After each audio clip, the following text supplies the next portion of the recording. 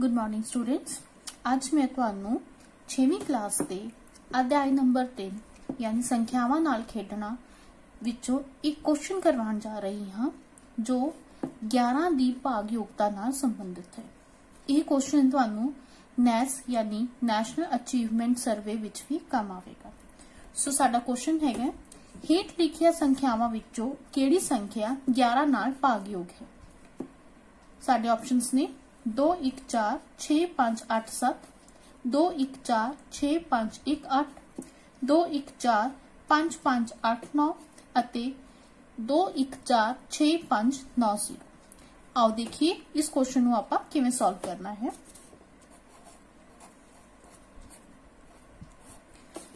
ਸਭ ਤੋਂ ਜ਼ਿਆਦਾ ਧਿਆਨ ਦੇਣ ਵਾਲੀ ਗੱਲ ਇਸ ਕੁਐਸਚਨ ਵਿੱਚ ਇਹ ਹੈ ਕਿ 11 ਨਾਲ ਭਾਗਯੋਗਤਾ ਕਿਵੇਂ ਚੈੱਕ ਕਰਨੀ ਹੈ ਇਸ ਲਈ ਸਭ ਤੋਂ ਪਹਿਲਾਂ ਦਿੱਤੀ ਸੰਖਿਆ ਨੂੰ ਇਸ ਪ੍ਰਕਾਰ ਨਾਲ ਲਿਖ ਲਿਆ ਜਾਵੇਗਾ ਹੁਣ ਇਸ ਦੇ ਵਿੱਚ ਅਸੀਂ ਕੀ ਕਰਨਾ ਹੈ ਇਕਾਈ ਸਥਾਨ ਤੋਂ ਸ਼ੁਰੂ ਕਰਦੇ ਹੋਏ ਸਥਾਨਾਂ ਨੂੰ ਨੰਬਰ ਦੇਣੇ ਹਨ ਇਸ ਪ੍ਰਕਾਰ ਨਾਲ ਅਸੀਂ ਦੇਖ ਰਹੇ ਹਾਂ 7 ਦਾ ਸਥਾਨ 5 ਦਾ ਸਥਾਨ 4 ਦਾ ਸਥਾਨ ਅਤੇ 2 ਦਾ ਸਥਾਨ ਇਹ ਸਾਰੇ ਸਥਾਨ ਟਾਂਕ ਸਥਾਨ ਹਨ ਕਿਉਂਕਿ 7 5 3 ਅਤੇ 1 ਇਹ ਸਾਰੇ ਟਾਂਕ ਅੰਕ ਹਨ ਅਸੀਂ ਇਹ ਸਾਰੇ ਟਾਂਕ ਅੰਕਾਂ ਵਾਲੇ ਸਥਾਨਾਂ ਤੇ ਪਏ ਅੰਕਾਂ ਨੂੰ ਅਸੀਂ ਜਮ੍ਹਾਂ ਕਰ ਲੈਣਾ ਹੈ ਭਾਵ ਅਸੀਂ ਇਸ ਦੇ ਵਿੱਚ 2 ਜਮਾ 4 ਜਮਾ 5 ਜਮਾ 7 ਪਤਾ ਕਰਾਂਗੇ ਇਸੇ ਪ੍ਰਕਾਰ ਨਾਲ ਜਿਸ ਸਥਾਨ ਭਾਵ ਦੂਸਰਾ ਸਥਾਨ ਚੌਥਾ ਸਥਾਨ ਅਤੇ 6ਵੇਂ ਸਥਾਨ ਤੇ ਮੌਜੂਦ ਅੰਕਾਂ ਨੂੰ ਵੀ ਇਸੇ ਪ੍ਰਕਾਰ ਨਾਲ ਅਲੱਗ ਤੋਂ ਜੋੜ ਲੈਣਾ ਹੈ 1 ਜਮਾ 6 ਜਮਾ 8 ਇਸ ਪ੍ਰਕਾਰ ਨਾਲ ਜੋੜਨ ਤੇ ਆਪਣੇ ਕੋਲ ਉੱਤਰ ਆਵੇਗਾ 2 ਜਮਾ 4 6 6 ਜਮਾ 5 11 11 ਜਮਾ 7 18 ਇਸੇ ਪ੍ਰਕਾਰ ਨਾਲ 1 ਜਮਾ 6 7 7 ਜਮਾ 8 15 ਹੁਣ ਇਹ ਦੋਨਾਂ ਨੂੰ ਅਸੀਂ ਮਾਈਨਸ ਕਰ ਲੈਂਦੇ ਆ ਇੱਕ ਦੂਜੇ ਵਿੱਚੋਂ ਘਟਾ ਲੈਂਦੇ ਆ ਇਸ ਦਾ ਉੱਤਰ ਸਾਡੇ ਕੋਲ ਆਵੇਗਾ 3 ਹੁਣ ਅਸੀਂ ਇਹ ਦੇਖਣਾ ਹੈ ਕਿ ਕੀ ਇਹ ਪ੍ਰਾਪਤ ਉੱਤਰ 3 11 ਨਾਲ ਭਾਗਯੋਗ ਹੈ ਨਹੀਂ 3 11 ਨਾਲ ਭਾਗਯੋਗ ਨਹੀਂ ਹੈ ਜੇਕਰ ਪ੍ਰਾਪਤ ਉੱਤਰ 11 ਨਾਲ ਭਾਗਯੋਗ ਨਾ ਹੋਵੇ ਤਾਂ ਦਿੱਤੀ ਸੰਖਿਆ ਵੀ 11 ਨਾਲ ਭਾਗਯੋਗ ਨਹੀਂ ਹੋਵੇਗੀ ਸੋ ਅਸੀਂ ਕਹਿ ਸਕਦੇ ਹਾਂ ਕਿ 2 1 4 6 5 8 7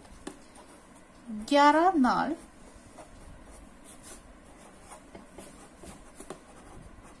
ਭਾਗਯੋਗ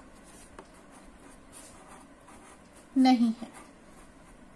ਇਸੇ ਪ੍ਰਕਾਰ ਨਾਲ ਅਸੀਂ ਦੂਸਰਾ ਆਪਸ਼ਨ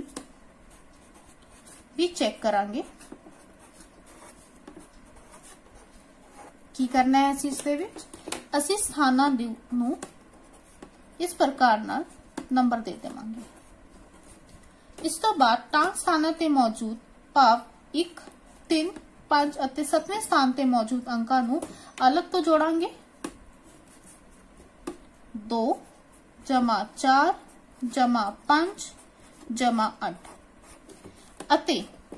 ਜਿਸ ਸਥਾਨਾਂ ਤੇ ਮੌਜੂਦ ਸਥਾਨ ਅੰਕਾਂ ਨੂੰ ਭਾਵ 1 ਜਮਾ 6 ਜਮਾ 1 ਨੂੰ ਅਲੱਗ ਤੋਂ ਜੋੜਾਂਗੇ ਔਰ ਉਸ ਤੋਂ ਬਾਅਦ ਇਹਨੂੰ ਮਾਈਨਸ ਕਰ ਲਵਾਂਗੇ ਪਿਆਰੇ ਬੱਚਿਓ ਇੱਥੇ ਇੱਕ ਗੱਲ ਧਿਆਨ ਦੇਣ ਵਾਲੀ ਗੱਲ ਇਹ ਹੈ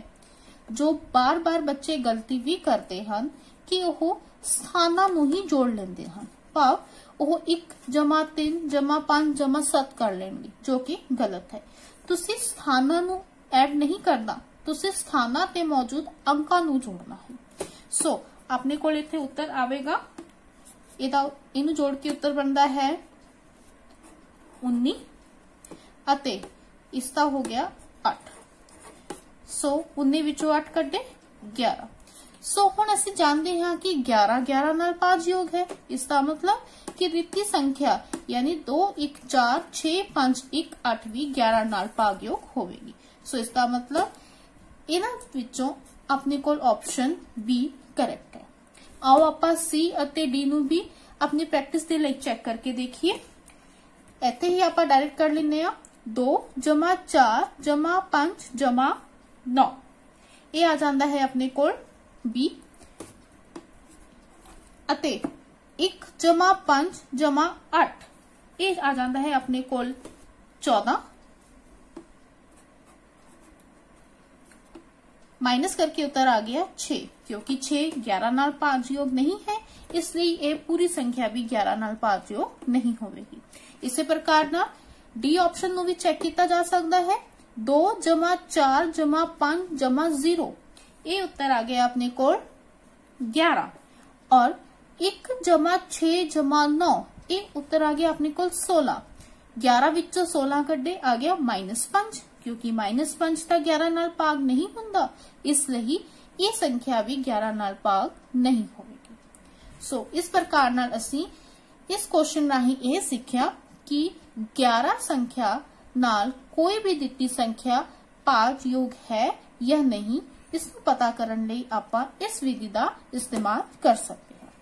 ਮੈਨੂੰ ਉਮੀਦ ਹੈ ਕਿ ਤੁਹਾਨੂੰ ਇਹ ਪ੍ਰਸ਼ਨ ਚੰਗੀ ਤਰ੍ਹਾਂ ਸਮਝ ਆ ਗਿਆ ਹੋਵੇਗਾ ਧੰਨਵਾਦ